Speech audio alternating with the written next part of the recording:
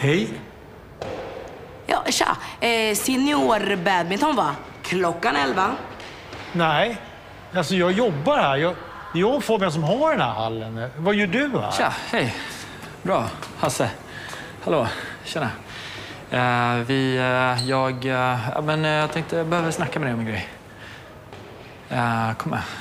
Vadå, så du anställde henne? eller? Nej, det är inte så som jag uppfattar det. Nej.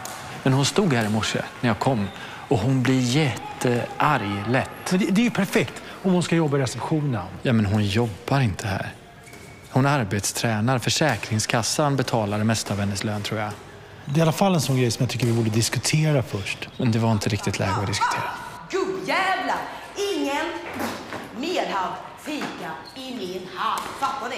Ingen jävla kaffe. Oj.